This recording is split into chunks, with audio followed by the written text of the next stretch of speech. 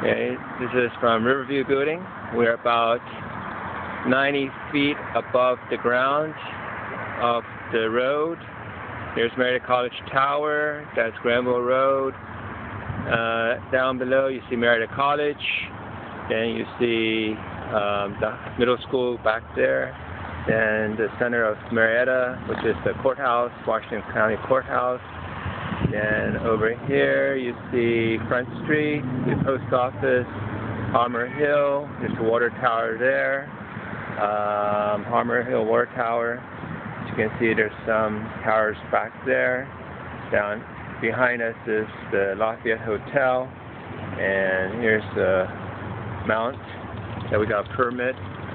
Another mount there facing Williamstown, and then that's Nermont, and I'm facing south toward Parkersburg. You see some towers in the background back there, and then that communication tower over there is for lease by Williamstown City, and that's Interstate 77 back there.